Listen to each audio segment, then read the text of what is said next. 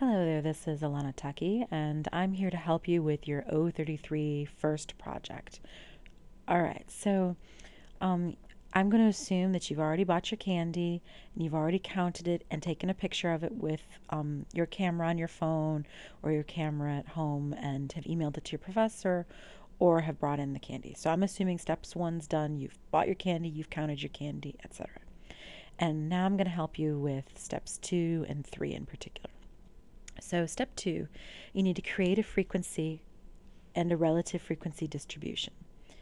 All right, so first thing you need to do is you need to label a worksheet to have an Excel workbook as data and graphs. So, to start that, we need to have Excel. So, make sure you're working on a computer with Excel. I have it down here on my little startup menu bar. If you don't see it down there, you can usually go to the start window right here. It might be in the list, like mine is right here or you could maybe just type. If you just type Excel like this, and then there it is, and then you click on it, and it'll open up. And you have a new spreadsheet.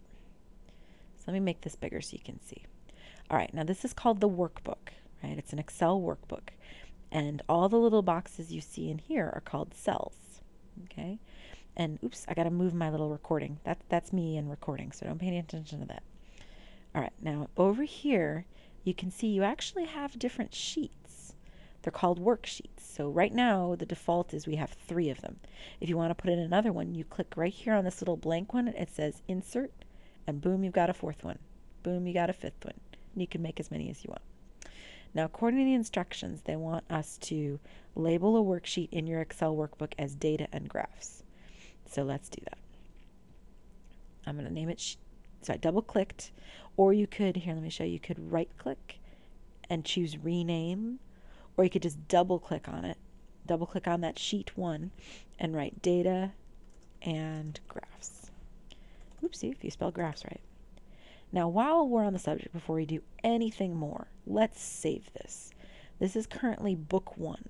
I don't want to name it book one. So I'm going to go up here to the file thing where it says file up here on the top left. Click on that I'm going to choose Save As. And I'm going to save it to my document somewhere. So always make sure you save it someplace you know where it is. So I'm going to call it O33 Project Number One, Alana Tuckey. It's always a good name to idea for something you're going to be emailing to a professor to have your name in there somewhere. That way, the professor knows whose it is when they look at it, um, and they also know it from the email. All right, now it's saved, and I've got my new name and I'm going to keep saving along the way. And you can do that with this little icon up here. That way you won't lose anything. If your computer dies, you lose power, whatever, you still have everything you've done.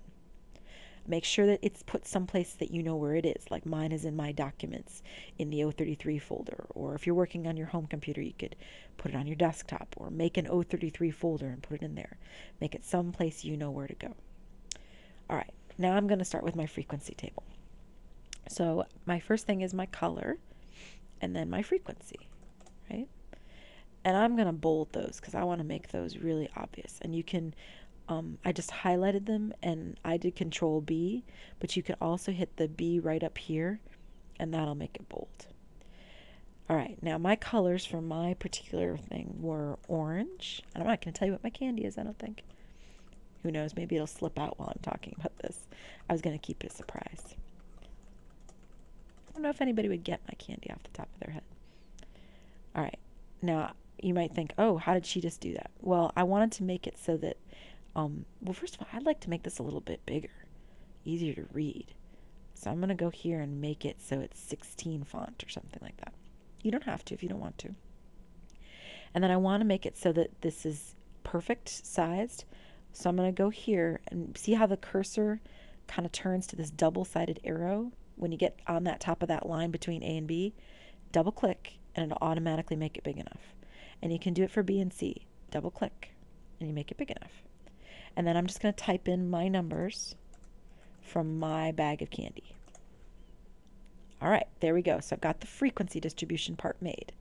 A table with the frequencies listed. I'll be back to show you how to find the relative frequencies in the next um, video. See you then.